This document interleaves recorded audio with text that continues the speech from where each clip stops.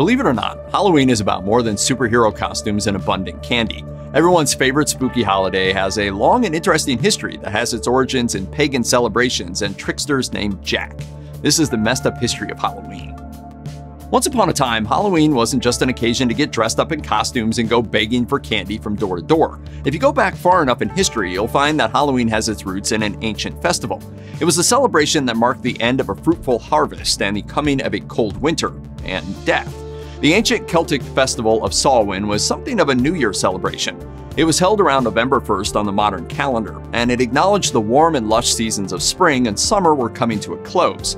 In their place, the cold and hard times of autumn and winter were to take over. Many believe that in this traditional period between the life giving part of the year and the frigid winter months, the dead were closest to the living. Some dead spirits could be communicative or even helpful, while others might prove to be more troublesome. Deities were also appeased with bonfires and sacrifices. Religious leaders, such as Druids, attempted to foretell the future with assistance from the spiritual energy thought to be at its peak then.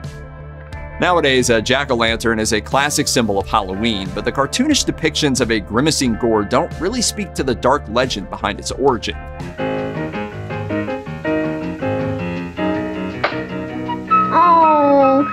Didn't tell me you were gonna kill it. Most versions of the jack-o'-lantern legend center on a tricky man named, obviously enough, Jack.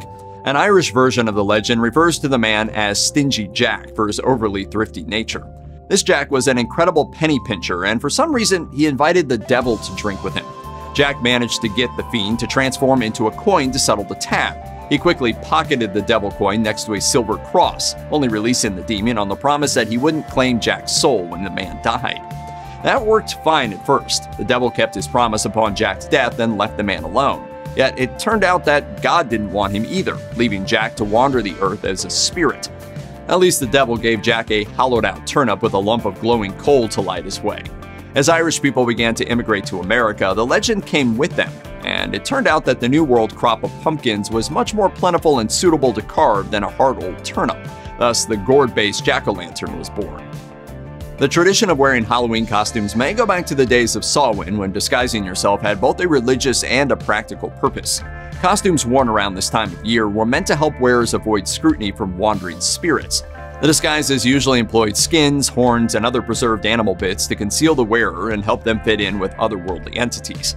As holiday adapted, these costumes also helped conceal the identity of pranksters who tormented people in their community, and conveniently enough, they could often blame the mischief on ghosts.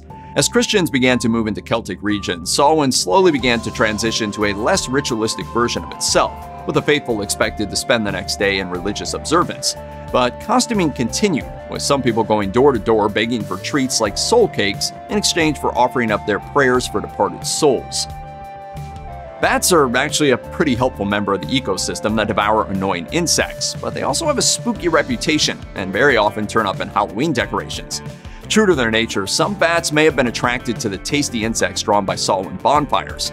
Many bat species are also nocturnal, further increasing their supposed association with ghosts, pagan deities, and the underworld. It's unsurprising that in the popular imagination, they have gone from an innocuous flying mammal to a harbinger of Halloween tidings. Meanwhile, the witchy reputation of black cats made them an easy fit for the spooky holiday. After all, how often do you see a ginger or tabby cat in a Halloween display? The association between Halloween and black cats may have started in the Middle Ages, when people were often frantically working to root out evil witches in their midst.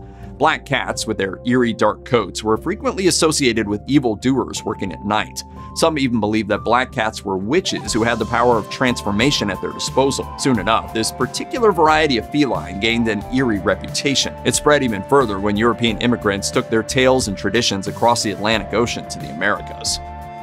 Trick or treating seems like a pretty sweet deal, all things considered. A cute little kid dresses up in a costume, goes door to door, and gets candy in exchange for the phrase trick or treat. We should do this every year. I just wish we hadn't filled up on all those kids before we got to the Flanders. But in medieval Europe, that interaction was more of a two way street, at least spiritually speaking, and someone's very soul could hang in the balance. Trick or treating has its roots in a begging practice that's known under a variety of names, including souling and guising. Richer folks would receive the poor of their communities and give them soul cakes, a special seasonal pastry. Those who received the cakes then promised to pray for the souls of the house's dead relatives. Eventually, kids started to take up the practice and added in costumes and song and dance routines. Instead of receiving a cake, they might receive other food, money, or even a nip of ale. It turns out that the Great Depression has more of a hand in contemporary Halloween celebrations than you might expect. Even when you go to a haunted house attraction these days, there's a hint of its history among the jump scares and grotesque characters. It all started when Halloween pranks got out of hand in the early days of the Great Depression. With use going so far as to flip cars and nearly derail trains with their antics, adults decided that something must be done. The kids needed a more controlled distraction. Enter the haunted house, one of any number of organized Halloween festivities that included trails, parades, and trick-or-treat events. The reasoning went that if kids were in an organized haunted house, then they couldn't be tearing the town to pieces. And if a local nonprofit got to make a bit of money off of it, all the better. Maybe this seems rather cheesy to modern viewers, especially those who are used to the intense, professionally produced haunted attractions available today. But even these gentler haunted houses were better than some communities' ideas to completely ban Halloween fun altogether. Some cities seriously considered the idea. However, they realized that the angry trick-or-treaters might prove to be too much to deal with in the face of such an extreme measure. If annoying and even dangerous pranksters weren't enough to stop Halloween, World War II was, at least for a short time. In 1942, Chicago and some other cities did cancel Halloween celebrations, and not strictly because of all those wild pranksters. Instead, it was because of increasing restrictions on resources during wartime. Patriotism also came into play. One superintendent of schools in Rochester wrote that even the seemingly innocuous prank of soaping up someone's windows wasn't all that great. After all, didn't our boys overseas need that soap and grease more? And ringing doorbells and then running away was just another way to make the life of an exhausted wartime factory employee all the more tiresome. So kids were even pushed to take pledges to behave themselves, promising to back the fighting men by observing Halloween in wholesome, squeaky clean fashion. This meant that for a while at least, the mailboxes and front porches of local homes were safe. The night before Halloween is often called Mischief Night in New Jersey. It's also ominously known as Devil's Night in Detroit, and confusingly to outsiders, it's called Cabbage Night in parts of the northeastern United States. The evening has historically represented an opportunity for widespread misbehavior and destruction. And while many may like to blame it all on rotten kids, there's a more concrete social and historical explanation. Mischief and pranking neighbors have been a part of Halloween since its beginnings as a Celtic ritual. One especially awful trick in 19th century Scotland involved setting a smoldering cabbage stalk up against a keyhole so that the unfortunate homeowner would arrive at a house reeking of burned veggies. Immigrants brought these traditions to the US, and the mischief really seemed to ramp up to frantic levels in the 1930s. Some historians have argued that the increasing stresses of the Great Depression and World War II could have pushed some youths to act out. Every Halloween, after all the parents get drunk, the teenagers come out and they go freaking crazy. They ride around town on their bikes, vandalize stuff. While kids were out turning the town upside down for much of modern Halloween history, young adults were tasked with something far more significant finding a spouse.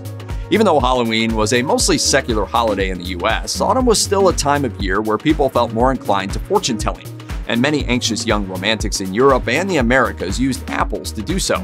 It makes sense considering the long link between fruit and fertility, and the fact that apples are pretty abundant at the close of the harvest season. Apple bobbing was a way for people to get a hint at a future match. In some cases, young women would make a secret mark on an apple. The apples would then be collected and dropped into a large bucket of water. The hopeful women would then watch the men stick their heads in the buckets and come up with an apple in their mouths. The girl who made the mark was said to be matched with the boy who retrieved the apple. Another apple-based fortune-telling technique involved peeling. Hopeful women would attempt to peel an apple in one continuous piece. Then they'd toss the scrap over their shoulder. They were looking for the peel to fall in the shape of someone's initials. The idea here is that the formed initials would supposedly indicate the name of their true love.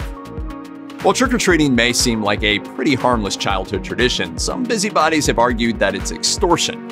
Whether or not you agree, the practice does kinda look that way when it's considered in a certain light. After all, the practice does involve kids asking for candy as a form of protection money.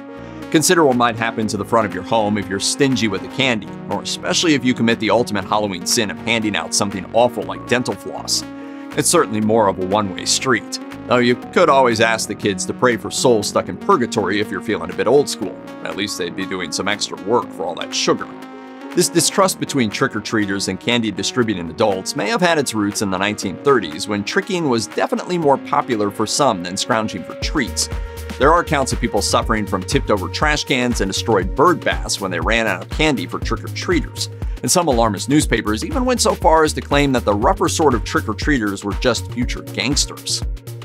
For many observant religious people, Halloween is the devil's holiday and feared because of its pagan associations. As Christianity became the dominant religion in Europe and the Americas, it had a vested interest in demonizing the old gods. Some early Christian practices folded the pagan observances into its calendar. For instance, when in the 8th century, Pope Gregory III moved All Saints' Day from May 13th to November 1st in an attempt to put a Christian gloss on the spookiest time of year. However, quite a few Protestants felt that this was too close for comfort, especially as the latter half of the 20th century saw the rise in evangelical Christianity. Starting in the 20th century, some Christians even went so far as to have anti Halloween parades and attractions known as hell houses that graphically depicted the consequences of sin. Some hell houses do not hold back, warning of the bloody satanic perils of issues such as drunk driving and domestic abuse, as well as more divisive topics such as gay marriage and abortion. Despite the dire warnings from these groups, most people in the US still see Halloween as a fun, silly holiday where a lot of candy is consumed and a few tricks are performed. It's a far cry from its darker, ritualistic, and more sinister origins. Check out one of our newest videos right here. Plus, even more grunge videos about creepy stuff are coming soon. Subscribe to our YouTube channel and hit the bell so you don't miss a single one.